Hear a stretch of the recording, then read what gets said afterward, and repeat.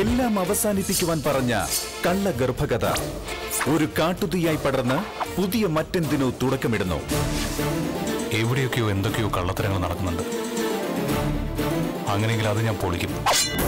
ഈ നാടകത്തിന് തിരശീല വീഴുന്നു. ഇവനെന്ന യാഥാർത്ഥ്യം ഇവളുടെ മുന്നിലെത്തുന്നു.